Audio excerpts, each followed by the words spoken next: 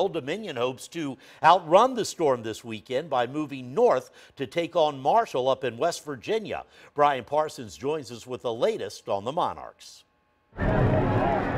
After suffering its first shutout loss, it was back to the drawing board for Old Dominion, and the players took the loss to Appalachian State hard. So hard that on Sunday they held a closed door players only meeting. I thought they'd come in for about five minutes, and it ended up being a 30 minute meeting where um, they refocused.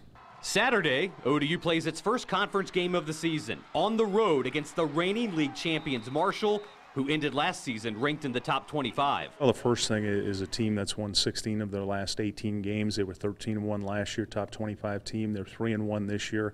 Um, obviously, a great football team. Team speed is outstanding, and um, we're going to need to have a great week of practice and get down there with the right mindset to compete this week. Marshall started the season with JMU transfer Michael Birdsong at quarterback, but he's been benched in favor of 6'5 freshman Chase Litton. Running back Devon Johnson, who torched ODU for nearly 200 yards and three touchdowns last season, listed as day to day with an injury.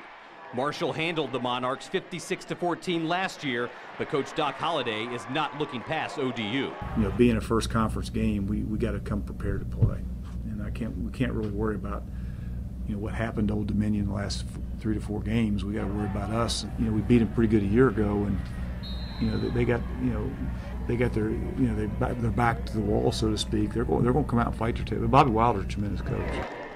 ODU's offense has struggled with Shuler Bentley under center, but Coach Wilder said there's plenty of blame to go around. Our issues right now offensively is we're not playing well collectively, whether it's blocking, running, throwing, and catching. And, and for Schuler, what he's got to do is what he had done the first three weeks, and that's stay on his reads, not try to force balls. He, he forced a couple Saturday, and they were both intercepted, which happens against a good team.